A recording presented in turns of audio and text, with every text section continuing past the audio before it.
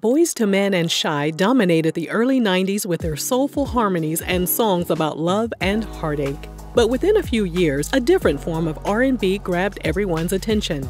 Jodeci changed the game with their raunchy and explicit lyrics infused with a hip-hop vibe that sent shockwaves through the industry. This moment in music history just so happened to be the perfect opportunity for an emerging trio called H-Town to show the world what they were made of. Plucked from obscurity and pushed into the limelight, Solomon Shazam Conner, Keven Dino Conner, and Darryl G.I. Jackson dominated the charts, all while making the ladies go wild.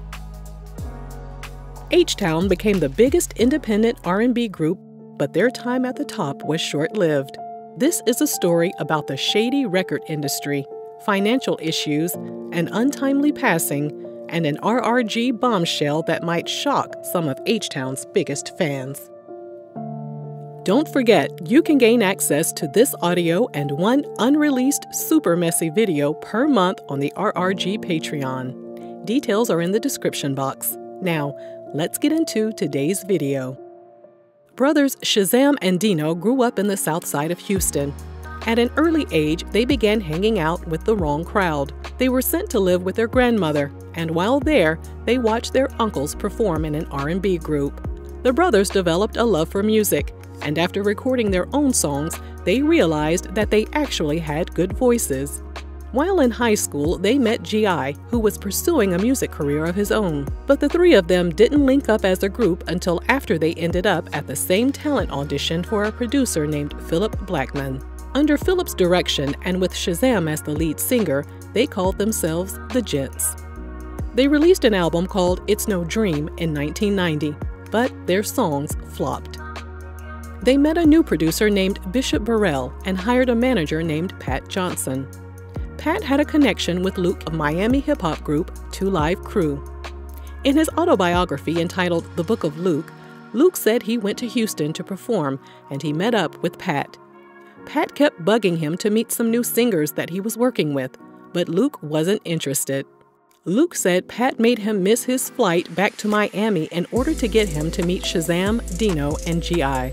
In his memoir, Luke said he could tell right away that the boys were, quote, dirt poor. He wrote, The first thing I noticed when I sat down with them was the holes in the bottom of their shoes.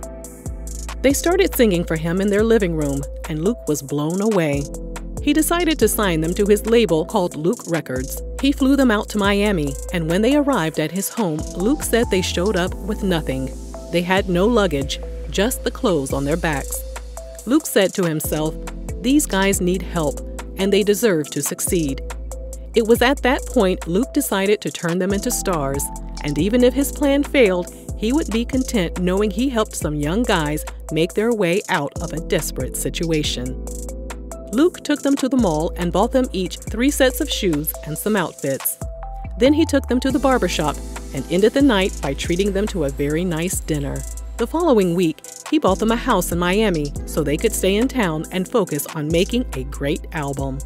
Luke thought the name The Gents was too corny, so they came up with the name H Town to pay homage to their hometown of Houston. Fever for the Flavor was released in 1993, and the lead single, Knockin' the Boots, landed at number one on the Billboard Hot R&B chart. The album was eventually certified platinum. Shazam told Majic 102.1 they immediately went on the road to do promo, so they didn't realize how fast Knockin' the Boots had blown up. It wasn't until fans began rushing them and tearing down barricades at their shows that they realized they were a big deal. Despite their popularity, they weren't making any money back when we first started off, you know, we was really big celebrities, right? But we wasn't making any money. Like the, the label would give us like one sixty a week to eat off of. Mm, one hundred and sixty dollars. Yeah, a week. Shazam said he began selling his sweaty clothes and undergarments he wore on stage for $100 a piece to make some extra money. Media outlets were desperate to get in contact with the new bad boys of R&B. And in their interviews, Shazam and Dino referred to themselves as twins and stated their age as 18 years old. However, Real Reality Gossip uncovered some interesting information.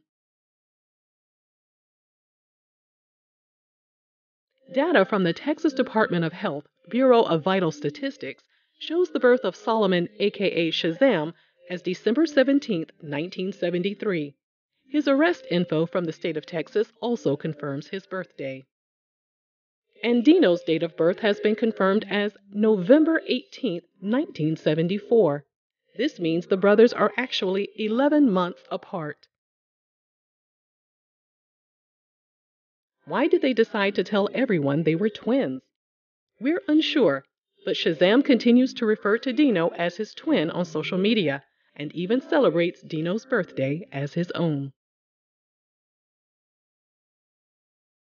After the release of their first album, they co headlined the Coca Cola Summerfest tour. They won a Soul Train Award for Best New Artist. And we want to say this to y'all, peace. Give me some good love. And teamed up with DeVante Swing of Jodeci to record the song Part Time Lover for the Above the Rim soundtrack. They even got to meet Prince. And according to Shazam, the legendary artist told the group he was a big fan of their music. When it came time to work on their second album, they decided they wanted $500,000 up front. The label agreed, but they were told they had to pay off the houses the label had purchased for them. Shazam said after paying off the mortgages, paying taxes, accountants, and lawyers, they were back to being broke. Dino took on a more creative role for their next album. They released Beggin' After Dark in November 1994 and it was certified gold. The song Emotions reached number 11 on the Billboard chart, and the music video featured Dino being seriously injured in a car accident. During this time, Luke had signed a distribution deal with Relativity Records and their parent company, Sony. And when it came time for everyone to reap the success of H Town's second album, Luke said Sony and Relativity wouldn't release any money because there were too many losses being reported from Luke's previous distributor. Luke and his record company were forced to file for bankruptcy.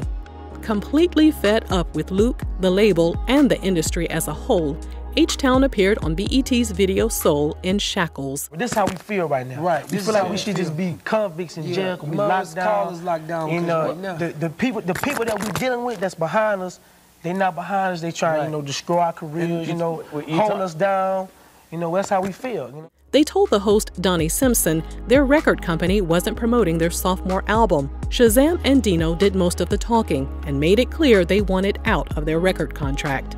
Luke said he felt betrayed, but there was nothing that could be done by that point. H Town left Luke Records and signed with Sony Relativity. They also received $1 million each and 50% of their masters. Finally, they were being compensated what they deserved. They teamed up with Shirley Murdock and Roger Troutman to record a song for the soundtrack of the Martin Lawrence film A Thin Line Between Love and Hate.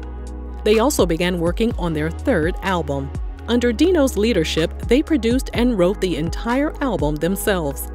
They left the freaky topics alone and began making music about serious issues. Ladies Edition Woman's World was released in 1997, and they dedicated the entire album to Nicole Brown Simpson, O.J. Simpson's ex wife who lost her life in 1994. The label wasn't happy with the contents of the album. They wanted the group to make the kind of music that sounded similar to Knockin' the Boots. So, in an effort to compromise, the group went back into the studio and recorded the track They Like It Slow. The song was just what they needed to help the album reach gold status. Instead of continuing to promote the album, their label wanted to move on and record a brand new album. They were offered $2 million, but Dino refused to take the deal.